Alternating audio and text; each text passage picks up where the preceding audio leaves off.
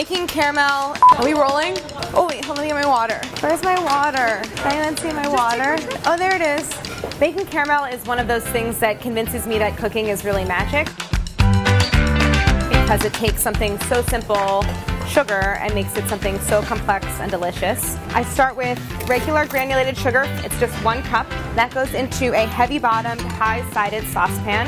This is a wet caramel, which means I start it with a little bit of water and that helps get all of the crystals dissolved. The secret ingredient is cream of tartar. It changes the molecular structure of the sugar and prevents crystallization. Now I'm gonna just assemble all of my other ingredients for the sauce. A half a cup of heavy cream, four tablespoons of unsalted butter, and salt. I want to get all of these things ready now because once I start to cook the caramel, it's not the kind of thing you want to walk away from.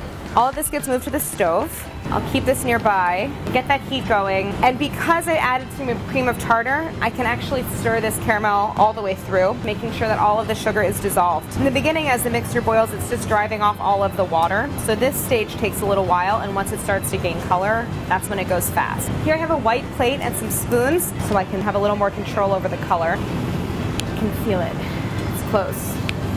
It's hypnotizing me, the bubbles, stare at it long enough. It's taking on a hint of color and I can also smell that it's getting a little bit toasty and now it'll go pretty quickly.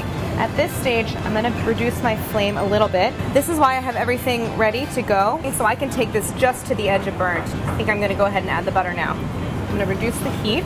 You wanna add the cream slowly and then just stir with a spatula until it's nice and smooth. The last ingredient is a very generous amount of kosher salt. This is a teaspoon. And I think we are ready to take it off the heat. So it's had some time to cool down. It's a really lovely consistency. This is just run-of-the-mill vanilla ice cream.